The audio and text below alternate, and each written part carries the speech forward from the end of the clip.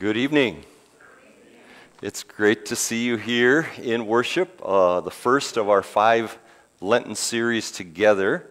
Uh, there are four sites where five preachers will be circulating a word through Lent, and it all comes to this theme uh, that Isaiah, the book of Isaiah, brings us, which is idolatry from rebellion to redemption. This is the theme that goes uh, all the way through uh, Isaiah. It's the theme that goes all the way through Scripture, and we thought, well, this is going to set us up very nicely for Good Friday and Easter. And so uh, Isaiah will be our preacher, and hopefully the preachers who come will uh, uh, represent Isaiah well as well. So great to have you here. Uh, great to be a part of a, the collegiality of pastors where we can uh, dream together about how this may uh, benefit the congregation, uh, bring the gospel in a unique way, possibly. And so, and we get to turn to Holden evening prayer again as well. So this is this is also fun, uh, neat tradition. The music uh, sets the tone for worship, and so uh, we are turning to that. And thank you for Kim and her wonderful help uh, during certain parts, um, especially the round part. So you'll be following her. Uh, are there any announcements we should be made aware of? Otherwise, we're going to head right into it. And so, uh, whenever your part uh, is up, Kim's going to be the all with you. So, if you're not with Kim, then you're not with it. So, get with Kim and you'll be with it. All right? Sound good? All right. They'll be with it. They'll be with it. Yeah. Very good. And. Mm, Jesus Christ, you are the light of the world. The light no darkness can overcome. Stay with us now, for it is evening. And the day is almost over. Let your light scatter the darkness shine within your people here. And so we sing, Joyous Light.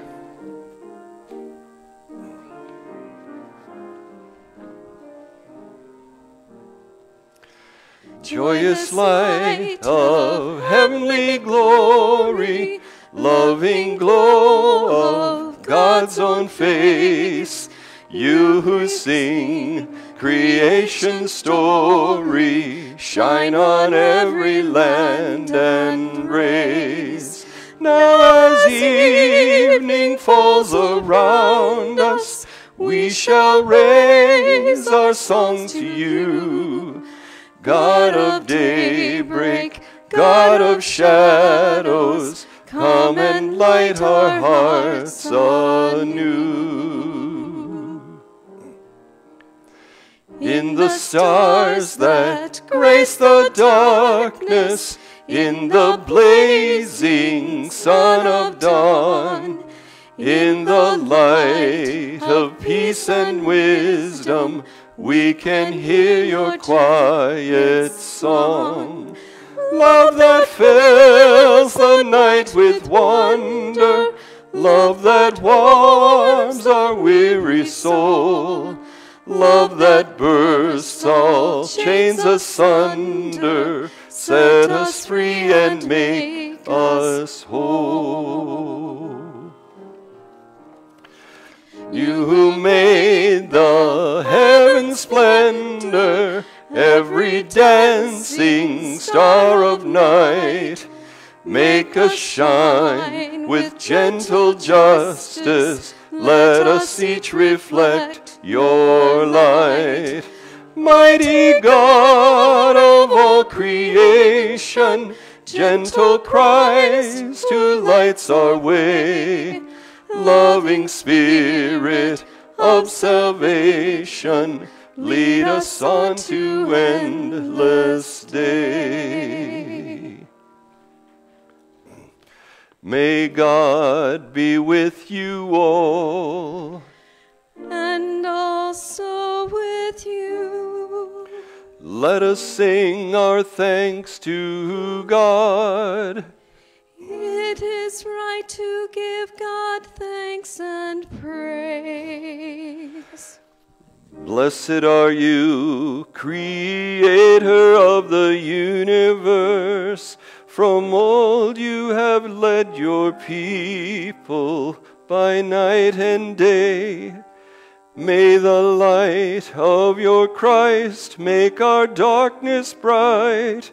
For your word and your presence are the light of our pathways, and you are the light and life of all creation. Amen.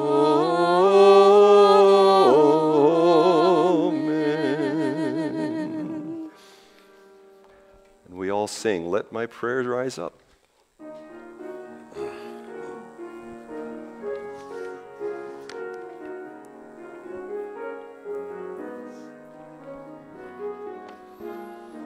All together.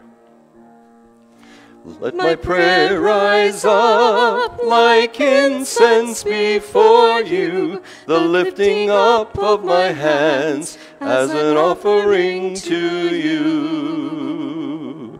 O God, I call to you, come to me now.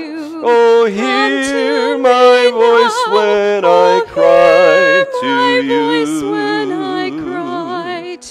Let my mm. prayer rise Let up prayer like rise incense like before incense you, the lifting you, up of my hands of as my an hands offering to as an you. offering to you. Keep watch within me, God. Keep Deep in my heart, me, may the light of your love be the light of burning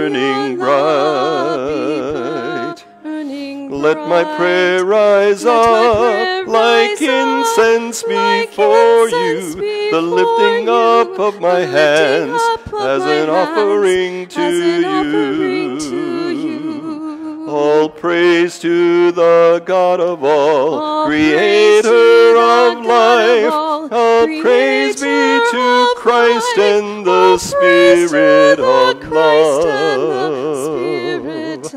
Let my prayer rise Let up prayer like rise incense like before incense you, the lifting you, up of my hands of as my an hands offering to as an offering to you. you.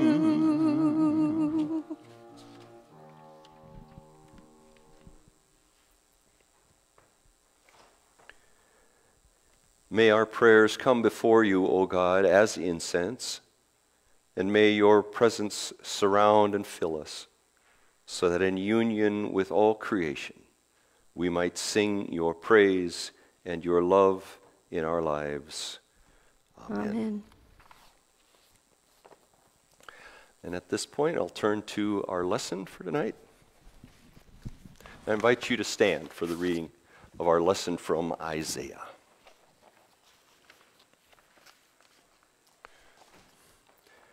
Each uh,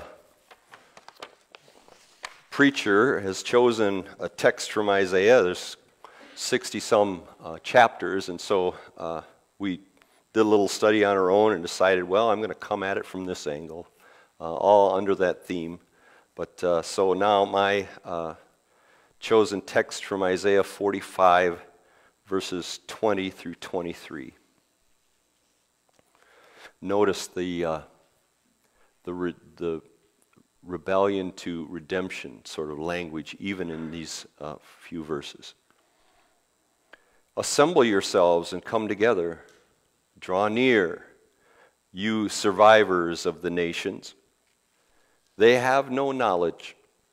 Those who carry about their wooden idols and keep on praying to a God that cannot save. Declare and present your case. Let them take counsel together.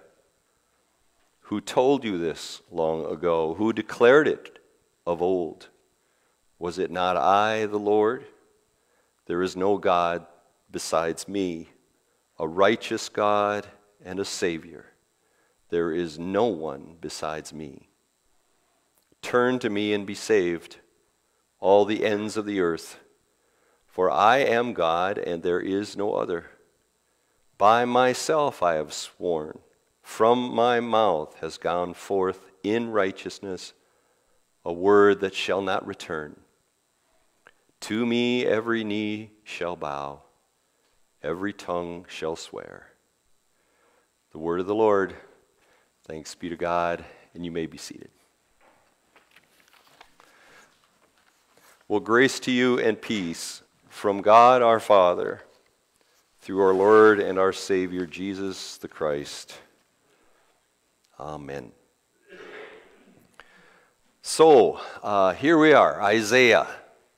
You'll get uh, five weeks of Isaiah, each preacher coming at it, as I said, from their angle, from their chosen verses.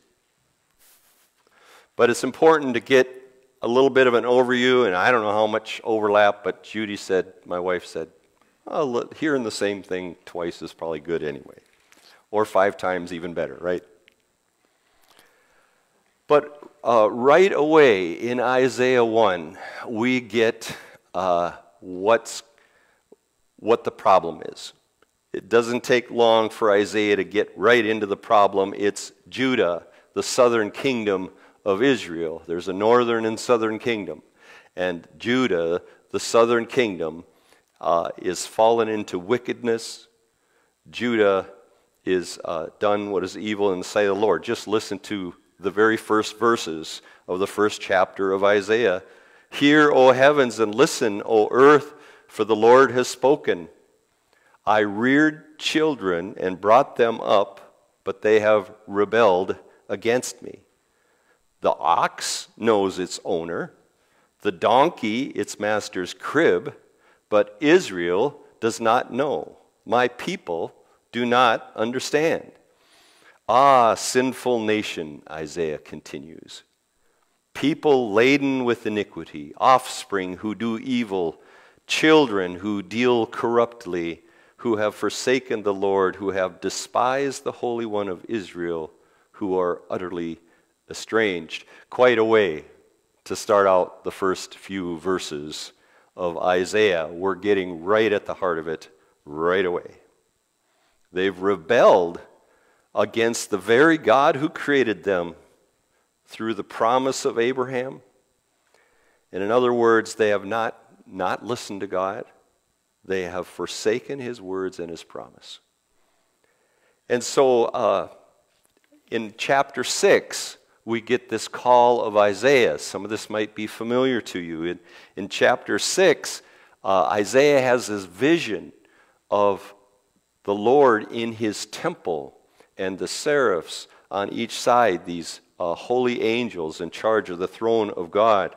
And one of the seraphs now flies down to the altar, uh, uses tongs, picks out a coal from the burning incense at the altar of the Lord and comes and touches the lips of Isaiah. Uh, you, he, he says he's a man of unclean lips. Well, uh, the coal does the uh, changing of the lips, uh, and now the words that come from Isaiah are going to be the words from God. And so, here we go. A little different than my ordination, I'd have to say. I don't remember coal and burning lips, but I do remember uh, being called by God through His Word. Uh, and this, this is Isaiah's call. Um, and then hear, hear what God tells Isaiah to speak to the people. Uh, this is a little different than I can remember my ordination being as well. Then the Lord sends Isaiah to his people with this word. And here's the word. Here's what you're going to say, Isaiah. Keep listening, but do not comprehend.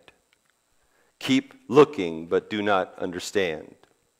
Make the mind of this people dull, and stop their ears and shut their eyes, so that they may not look with their eyes, and listen with their ears, and comprehend with their minds, and turn and be healed. And Isaiah's kind of going, hmm, that's uh, an interesting uh, way to preach. Uh, speak, but they're not going to hear.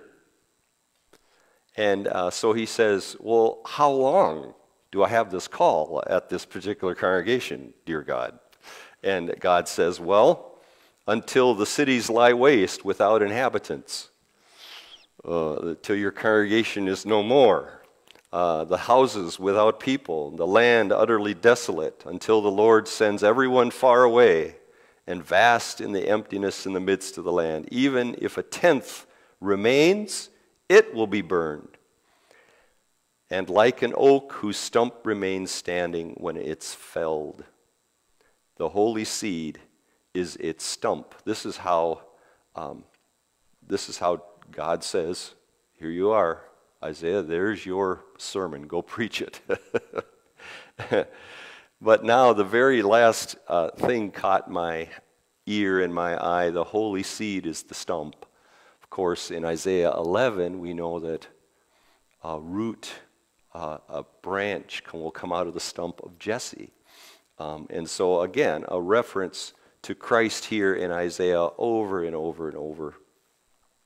The book of Isaiah was written over a very turbulent time in Israel's history. It was time before this, just before this great uh, and mighty civilization of Babylon came and conquered this kingdom, this southern kingdom of, of Judah, captured all the leaders of the country. Uh, this would be uh, Daniel of Daniel and the Lions uh, fame. This would be Shadrach, Meshach, Abednego of the fiery furnace story fame. These all taken from uh, Israel and taken back to Babylon. And of course, we understand this as the Babylonian captivity. Uh, this happened uh, in the I have to figure out how to say this uh, back BC. It happened in the the early 500 BCs, which would be 587 um, and 586. All these leaders taken to Babylon and for 50 years are held in captivity in this foreign land of Iraq. And um, of course, this is Baghdad. This is this, this area of the Mesopotamia. And so they're in captivity. And up until Isaiah's warning, the people are not listening, right? He's speaking, they aren't listening. God knew it. Isaiah knew it. He would keep preaching God's word. They wouldn't hear it, they wouldn't listen. Okay, there's your, uh, there's your job uh, as a preacher, Isaiah. And now, uh, once the captivity happened, um, and this occurs for the, in the first 40 chapters. Now, Isaiah chapter 40 is a whole new preaching. Um, they've heard the warnings of idolatry. They've heard all this and not listened. And now, now that they've been completely de- devastated, the temple destroyed, the people taken from their land, um, now chapter 40 is completely different.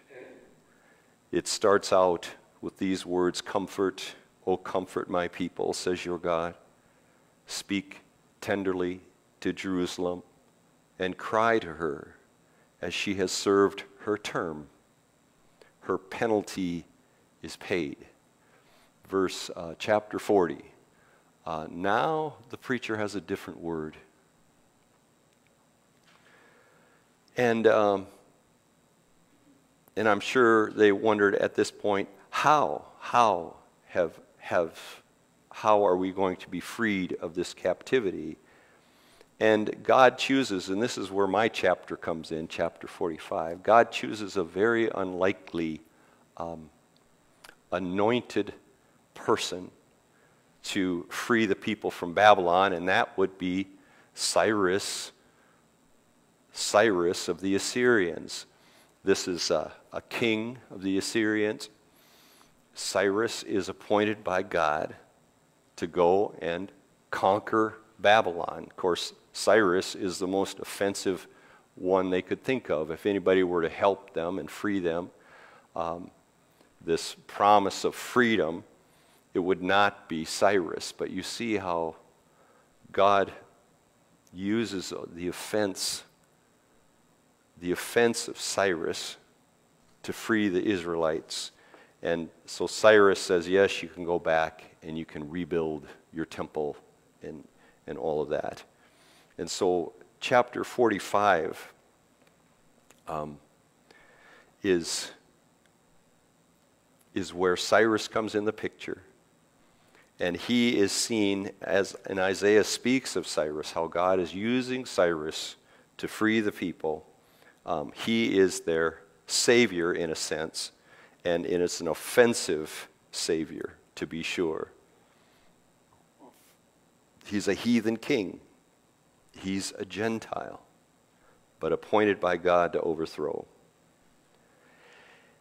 And so it's, uh, we find in Isaiah the very theme, as I said, that God uses with all of his people. God always comes to us with two words, and the first word is always law, it's always commandment, it's always, This is my expectation of you.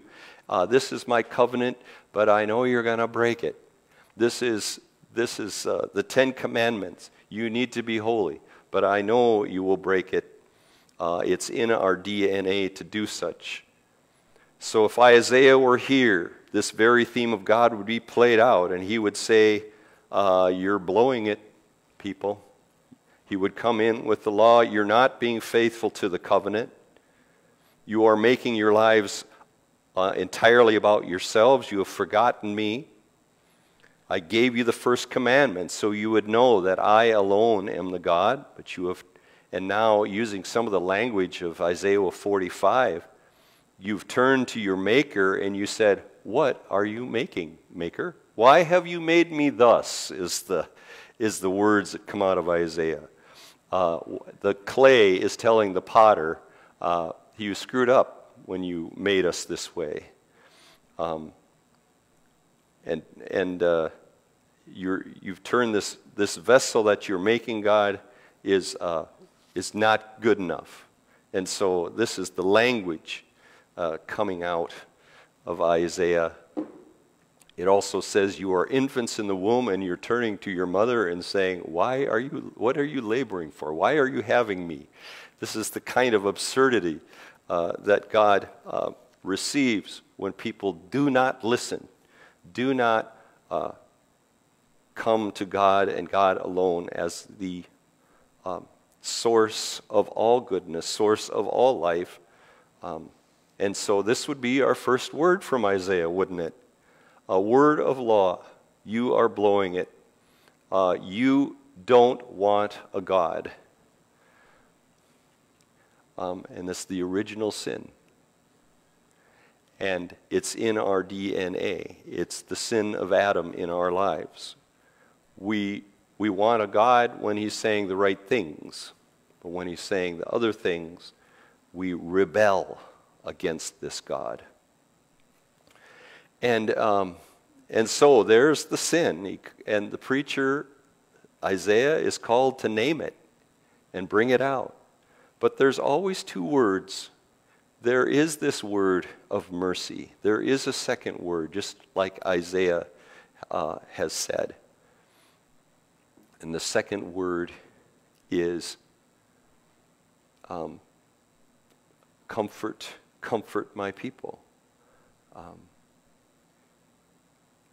God's almighty word is the second word. It's the word of mercy to the one who is convicted of their sin, uh, the one who suffers under the experience of the weight of being guilty and shame filled not living up perfectly to God's expectations for you. But God knows this. We who are laid low by our expectations and circumstances in life, God will bring this new word, a word of promise, a word of forgiveness. And of course, you see this played out in Isaiah, you see it given to us in Christ.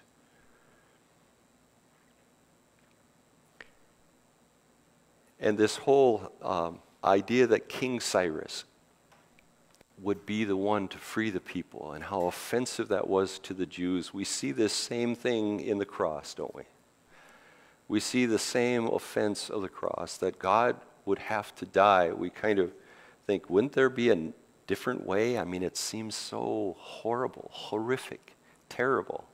a terrible way to die. Why would God choose to do this for me? We are offended by this uh, act of God. But he uses the very offense to free us. He uses this very offense of calling us sinner, naming our sin, to free us from sin by the glory, God's word, the glory in the cross. And so there we get to Isaiah 53, uh, this uh, beautiful text that we will turn to on Good Friday, where that mercy was poured out for you. Um, Isaiah knew it so well. There were two words he needed to bring. The people would be convicted of their sin. It would happen. Uh, but in in that moment, uh, they would receive the second word, and that is of mercy. So praise be to God for the mercy of God given to us through his Son, through the cross. The offense of the cross is our very salvation. Amen. Let's, uh, let's go to the sermon song or the theme hymn, which is Beneath the Cross of Jesus. And uh, that'll be one we sing each week beneath the cross of Jesus.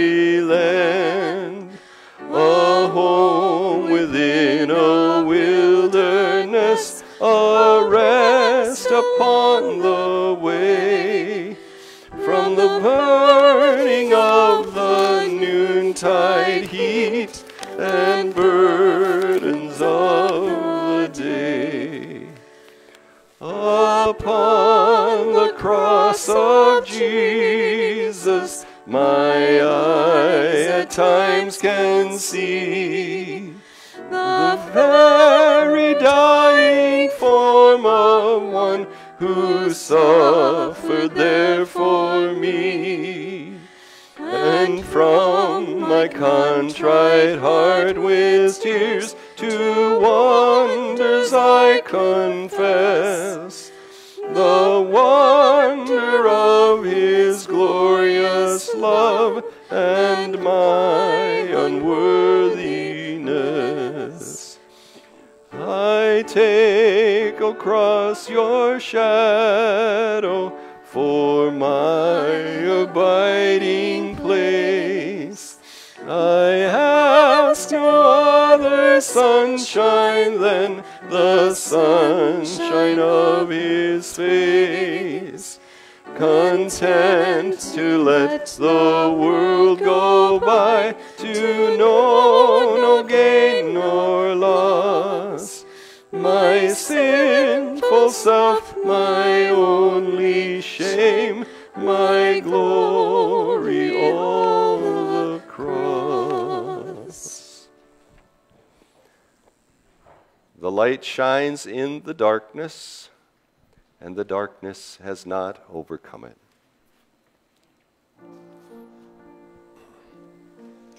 An angel went from God to a town called Nazareth to a woman whose name was Mary. The angel said to her, Rejoice, O highly favored, for God is with you. You shall bear a child, and his name shall be Jesus. the chosen one of God Most High. And Mary said, I am the servant of my God. I live to do your will. Join me. My soul proclaims your greatness, O God, and my spirit rejoices in you. You have looked with love on your servant here, and blessed me all my life through. Great and mighty are you, O Holy One. Strong is your kindness evermore. How you favor the weak and lowly one, humbling and proud of heart. You have cast the mighty down from their thrones and uplifted the humble of heart. You have filled the hungry with wondrous things and left the wealthy no part. Great and mighty are you, O faithful one. Strong is your justice, strong your love. As you promised to Sarah and Abraham, kindness forevermore. My soul proclaims your greatness, O God, and my spirit rejoices in you. You have looked with love on your servant here and blessed me all my life through.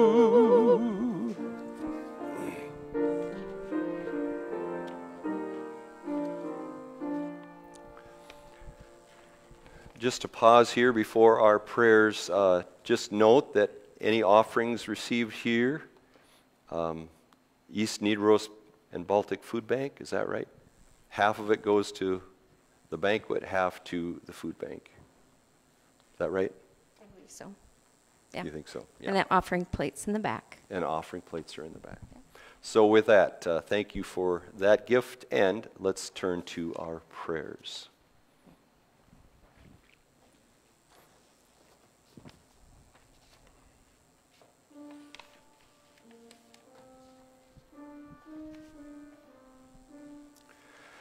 Mm-hmm.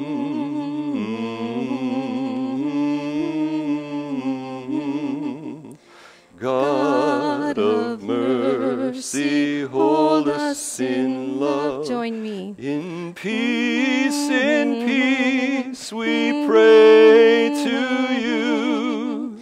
God of mercy, hold us in love. For peace and salvation, we pray to you. God of mercy, hold us in love. For peace between nations, for peace between peoples. God of mercy, hold us in love. For us who are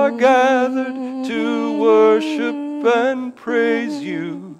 God of mercy, hold us in love. For all of your servants who live out your gospel, God of mercy, hold us in love. For all who govern, that justice might guide them, God of mercy, hold us in love. For all those who labor in service to others, God of mercy, hold us in love. Grant weather that nourishes all of creation. God of mercy, hold us in love. Keep watch on our loved ones and keep us from danger. God of mercy, hold us in love. For all the beloved who rest in your mercy.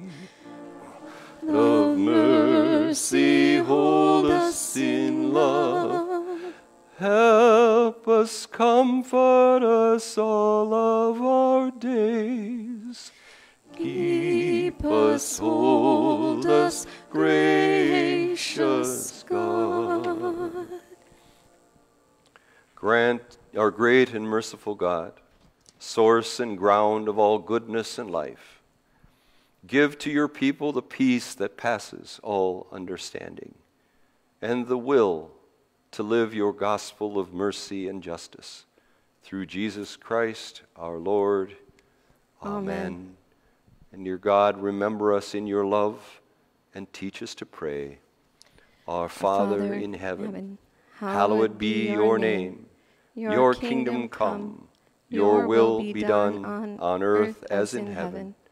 Give us today our daily bread. Forgive us our sins as we forgive those who sin against us. Save us from the time of trial and deliver us from evil. For the kingdom, the power, and the glory are yours, now and forever. Amen. Um, I'll say, Let us bless our God. You respond, praise and thanks to you. And then uh, let's all join in the blessing. Would you please stand?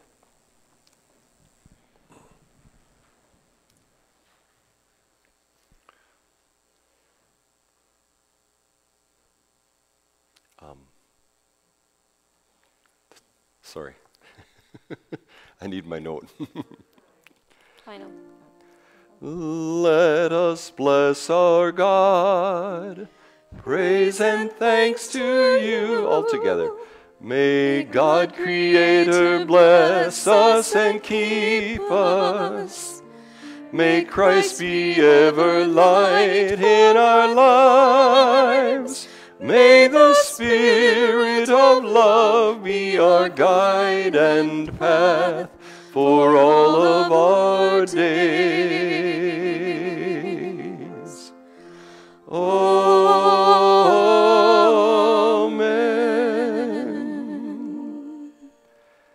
And may the God of all peace sustain you in the, in the coming week and bless you as you go. In Jesus' name, amen. Amen.